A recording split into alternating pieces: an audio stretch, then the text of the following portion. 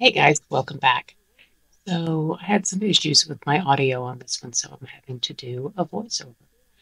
What I have here is a sphere mold, half of it at any rate, and uh, don't really remember where I got these from, but they're, you know, sphere molds, about two and a half inches, or about, you know, six and a half uh, and a half centimeters.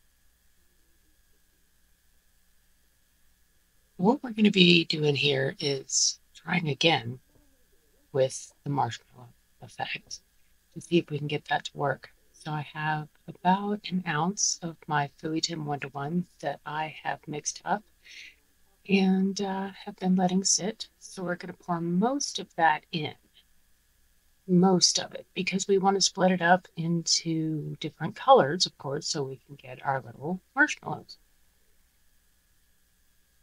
A little bit more.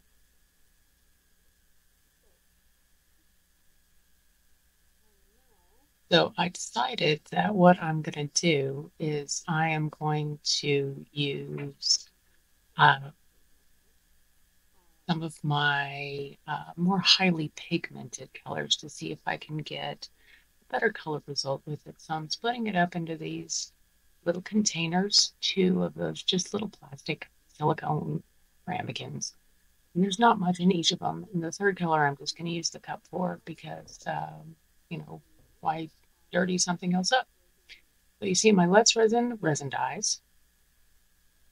And I decided that uh, the two colors that I'm going to use other than white are going to be uh, purple, as you can see right there. And then I actually decided to use the green here a little bit with green. I'm just shaking up the colors, making sure that they're good and uh, get mixed up because they've been sitting there for a while. I don't use these very often, and I should. Uh, I forgot to uh, poke a hole in the purple, obviously, because I've tried to uh, squirt it in there twice and it's not working. So just grab a thumbtack and poke the hole in there.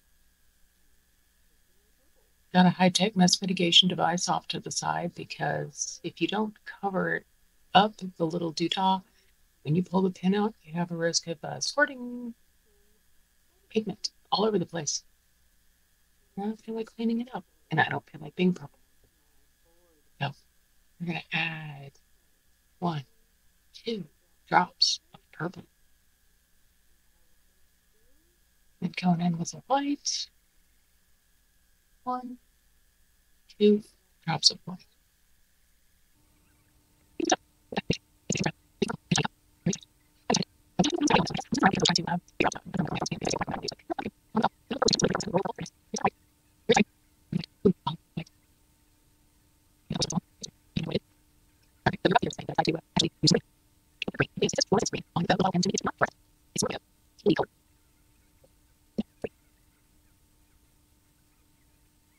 Ew, it doesn't look green to me when it hits the resin.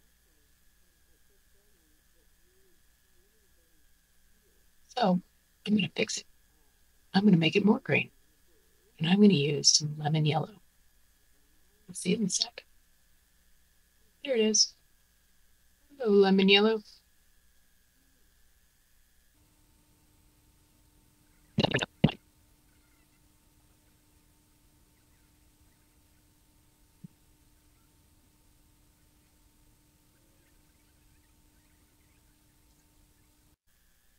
All right, so our resin has been sitting about half an hour, and that has given it a lot of time to kind of thicken up and degas and everything. So I'm just going to start adding my blobs.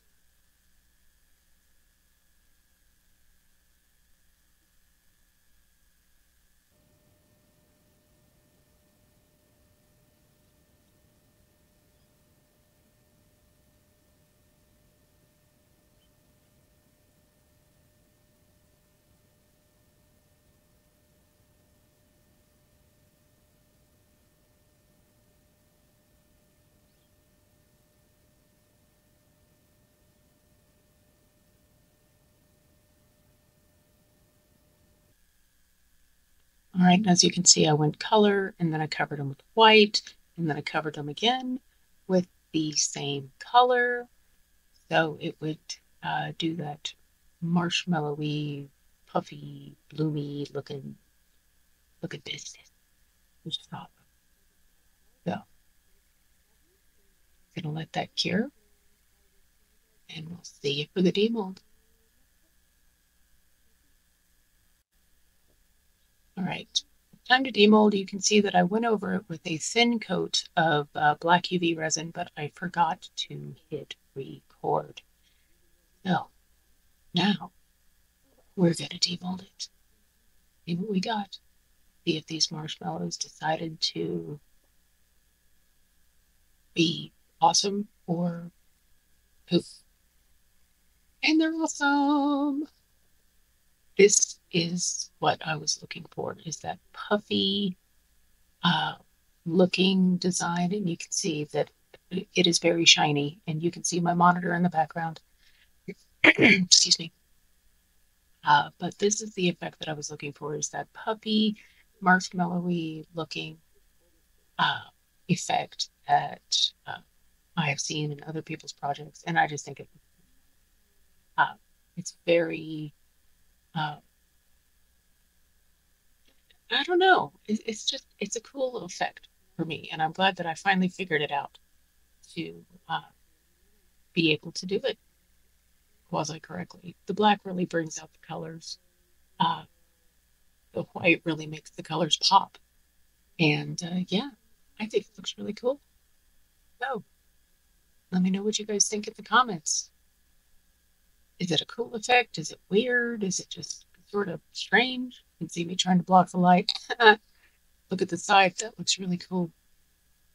Very cool effect on the side. I dig it. So anyway, thank you guys so much for being here. I really do appreciate it. And I hope to uh, see you guys again on the next one. Take care, guys. Cheers.